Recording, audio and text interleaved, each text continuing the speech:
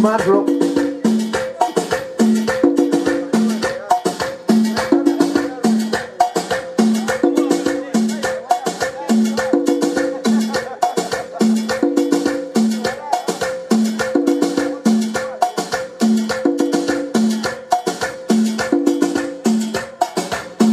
Nos pidieron un temita de alegría.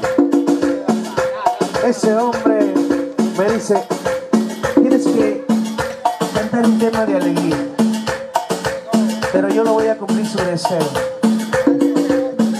En ese día especial, el Día de las Madres. Para que me recuerdes y me lleves en el pecho. ¡Sabrosura!